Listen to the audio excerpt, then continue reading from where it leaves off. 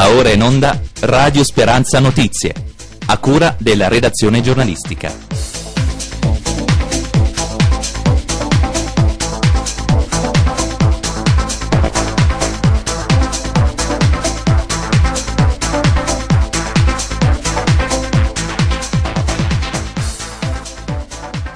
Un cordiale saluto a tutti da Massimiliano Spiriticchio al microfono, Natascia alla parte tecnica e da tutti noi di Radio Speranza in Blu, la radio della Chiesa Metropolitana di Pescara Penne, in onda sugli 87 e 6 MHz e su www.radiosperanzapescara.it. Siamo anche su Facebook dove ci potete cercare digitando Radio Speranza. Rinvio al 18 novembre per cambio del giudice della prima udienza del processo sugli effetti della mega discarica di rifiuti tossici a Bussi sul Tirino. Il provvedimento aperto, il procedimento aperto a Pescara, eh, poi eh, trasferito eh, a, a, quello eh, bis rispetto appunto a quello che si sta svolgendo invece a Chieti, eh, vede imputati i vertici di Ato e ACA e eh, ASL di Pescara per distribuzione di acqua contaminata. Secondo l'Istituto Superiore di Sanità l'acqua è stata distribuita a circa 700.000 persone all'esterno del Tribunale volantinaggio del Forum Abruzzese dell'Acqua e Striscioni.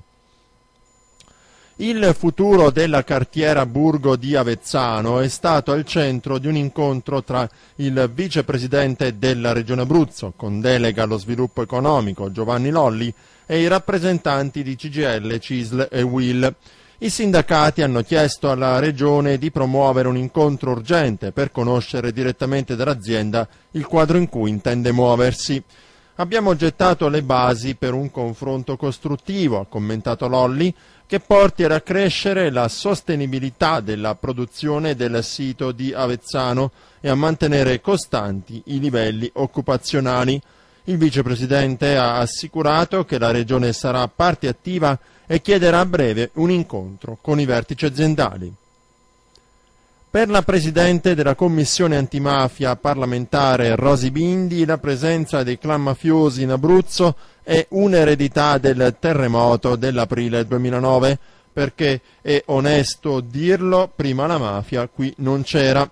La ricostruzione eh, significa soldi, ha detto la Bindi, e i clan si sono gettati sull'occasione. La Presidente Bindi, con sei parlamentari, è all'Aquila per un punto sulle indagini post-terremoto. Abbiamo eh, constatato carenza di leggi, so che il Governo sta già lavorando.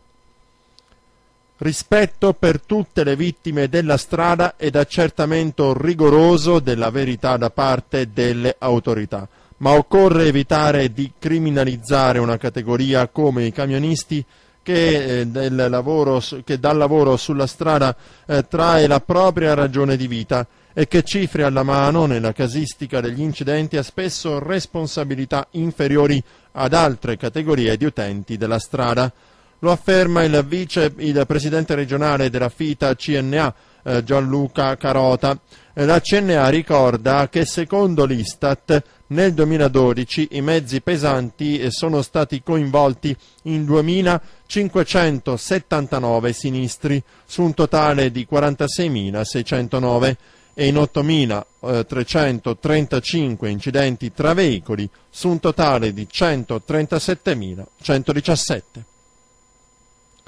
La Procura di Pescara sta inviando in queste ore gli avvisi di conclusione indagine per 25 indagati tra assessori e consiglieri regionali della passata legislatura eh, nella Rimborsopoli abruzzese. L'ipotesi dell'accusa parla di rimborsi gonfiati per missioni istituzionali in Italia e all'estero.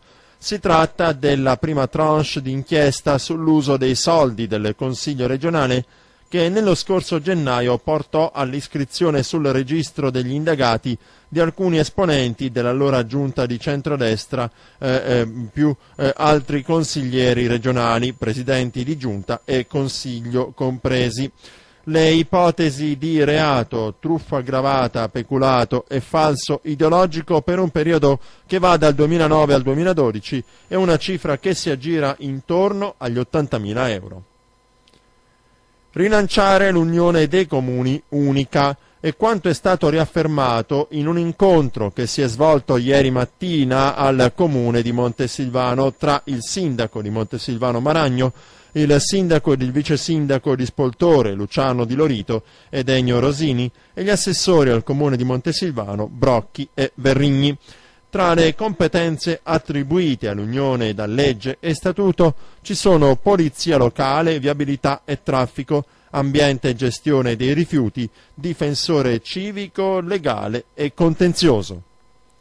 E nel corso dell'incontro i sindaci di Montesilvano e Spoltore hanno anche sottoscritto congiuntamente una lettera indirizzata al responsabile del servizio finanziario dell'Unione dei Comuni. La missiva ha come eh, oggetto l'autorizzazione alla proroga temporanea del servizio di tesoreria in favore dell'Unione dei Comuni Montesilvano Spoltore per l'arco temporale strettamente necessario a indire una procedura di evidenza pubblica per affidare nuovamente questo servizio. Sono stati avviati oggi gli interventi di manutenzione del verde sulla strada parco a Montesilvano. I lavori verranno completati in 15 giorni gli interventi prevedono la potatura di 1800 metri di siepe che divide la pista ciclabile dal resto della sede stradale di Strada Parco. I lavori comprendono il tratto tra via Marinelli e il confine con Pescara. L'intervento è stato suddiviso in due lotti. Il primo prevede interventi di sfalcio dell'erba all'interno dei parchi, dei giardini comunali, degli impianti sportivi e delle scuole. Il secondo lotto riguarda invece il verde estensivo nelle aree di viabilità, nella rotatoria e nei parcheggi. Siamo agli appuntamenti in programma in questi giorni. Il Flaiano in piazza tornerà domani alle ore 21 al Parco Florida e proporrà la grande bellezza di Paolo Sorrentino, il film vincitore del premio Oscar.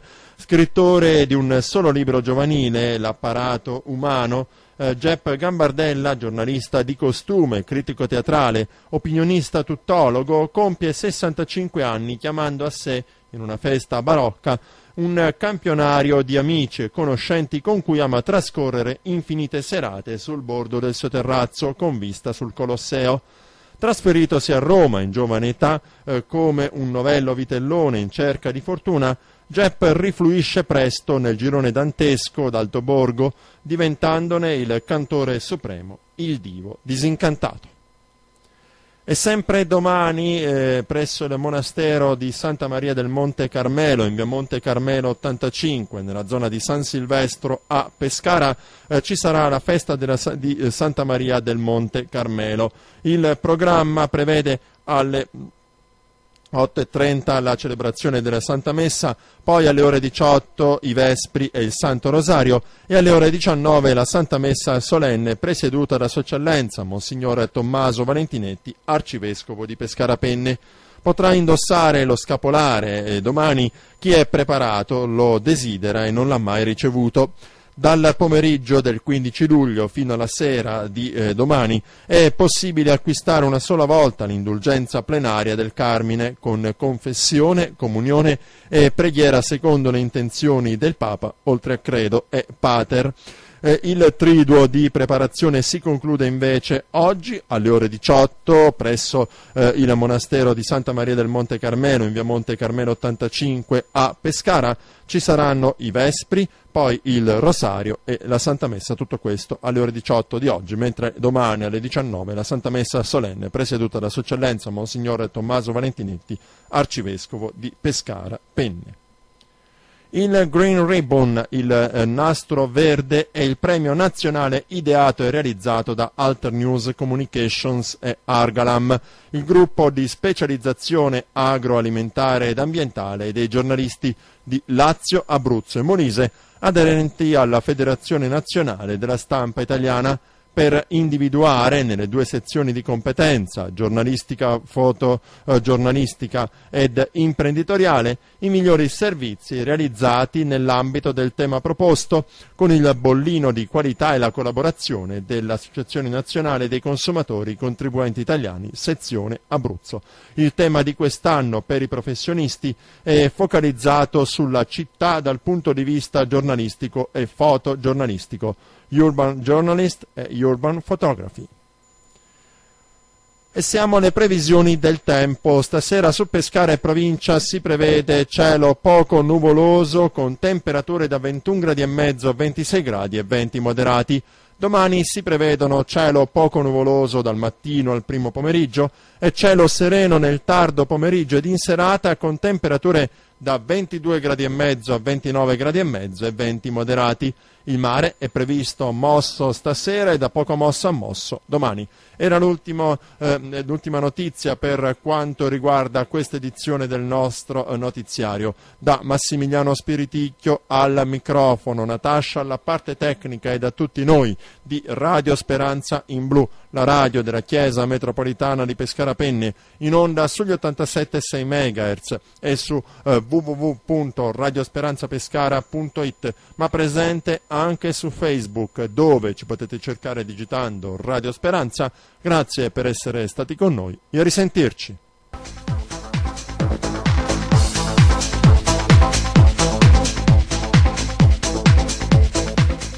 Abbiamo trasmesso Radio Speranza Notizie, a cura della redazione giornalistica.